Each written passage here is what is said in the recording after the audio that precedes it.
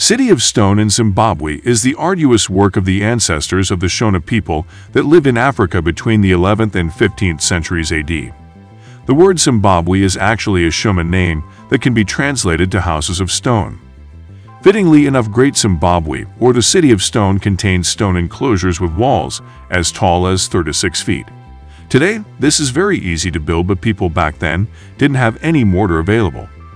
Just like the pyramids found all over the world, the city stone of Zimbabwe yet again proves that we should give more credit to our ancestors.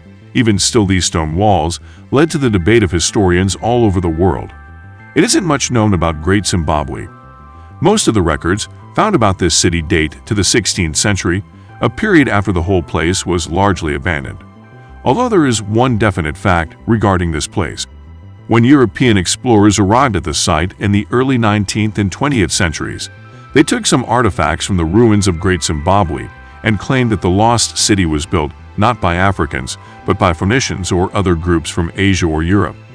In reality, the people of Zimbabwe have been aware of the existence of these ruins since the very beginning and their predecessors were the ones that built this city of stones.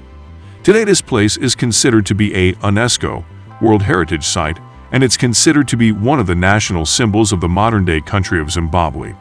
In fact, the country embraced this uncovered settlement so much so that the nation was the one that adopted the name Zimbabwe in 1980, and they even included the bird artifact found in the archaeological site in their flag.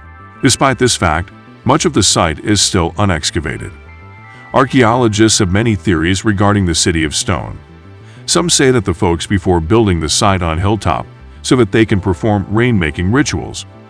Regardless, Great Zimbabwe shows how amazing the past tribes of Africa were. Subscribe for more videos like this and turn on the notification to help the channel out. Thanks for watching.